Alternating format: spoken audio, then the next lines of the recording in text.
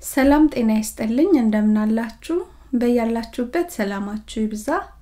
በዛሬው ቪዲዮ በጾም ወቅት ለቁርስ ተወዳጅ የሆነውን የፉል አሰራር ይዤላችሁ ቀርብ ያለው። አብራችሁ ይንቆዩ ወደ አሰራሩ እንሄድ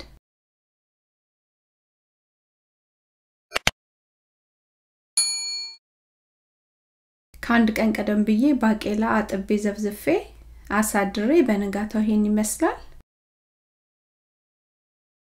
ባቄላውን ለቅለቅ አድርጌ በ Instant Pot አበስለዋለሁ። ፈጠን ብሎ እንዲበስል ስለፈለግኩ ነው በ Instant ያበሰልኩት። በድስትም ማብሰል እንችላለን።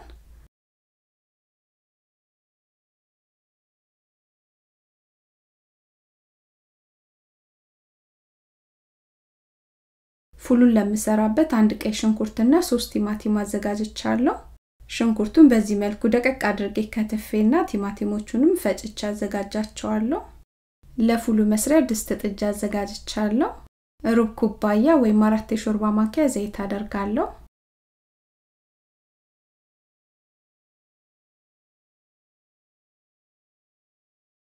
ዘይቱ ሞቅ ብሏል። ከትፍ ያዘጋጀሁትን ሽንኩርት አስገብቻ አቁላለዋለሁ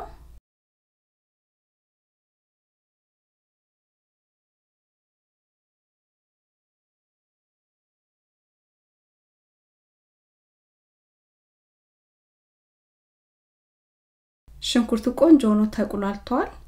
አንድ የሻይ ማንኪያ በርበሬ እና ግማሽ የሻይ ማንኪያ እርድ አስገብቻ አብሬ ያቁላላቸዋለሁ በርበሬውና እርዱ በአንድ ላይ የሚያምር ከለር ነው የሚሰጡት ለፉሉ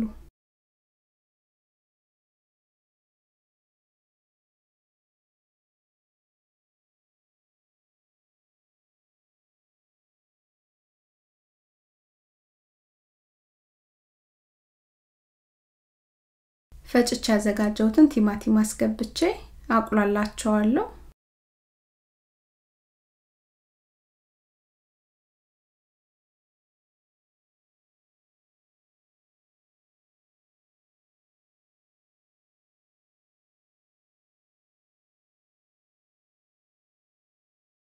ሁለት የሻይ ማንኪያ አብሮ የተፈጨ ነጭ ሽንኩርትና ዝንጅብል አስገብቼ አቁላላቸዋለሁ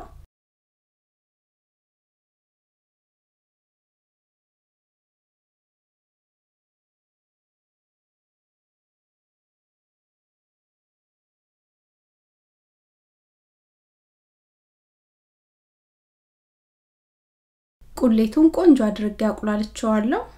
ቀቅ እያዘጋጀሁትን ባቄላ አስገባለሁ።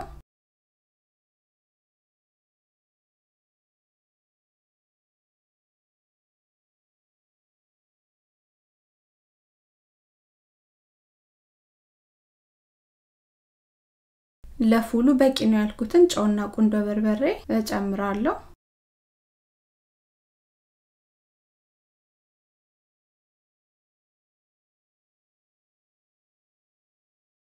ባቄላ ፍጥጥ ብሎ እንዳይታይ በድንች መጨፍለቂያ ትንሽ ጨፍለቅ ጨፍለቅ እያደረግኩ እዳመጠዋለሁ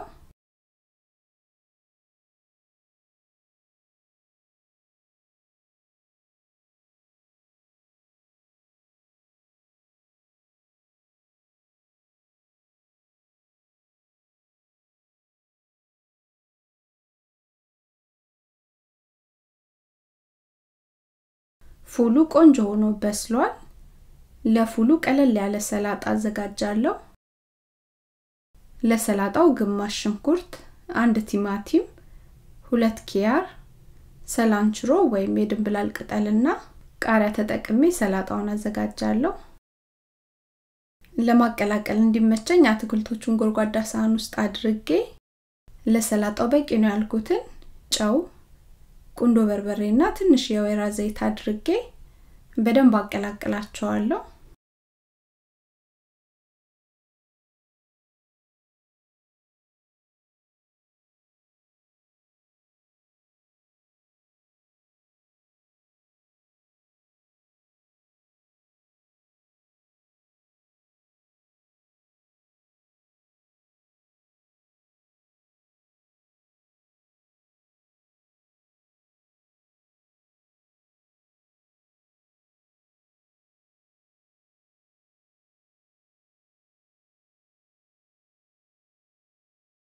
ፉሉን በዚህ መልኩ ሳህን ላይ አድርጌዋለሁ። የተወሰነ ሰላጣ ከጎን አድርጌ ከዳቦ ጋር ለቁርስ አቀርበዋለሁ።